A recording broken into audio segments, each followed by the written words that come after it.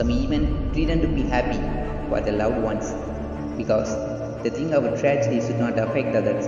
Some will not leave their loved person even though they know they will not come with us to the throat life because what they expect is only love of the loved one. Let it be any relationship to receive or give love. Try to get them trust on you. Don't revenge anyone, instead forgive them. They same be a true lover. It's me.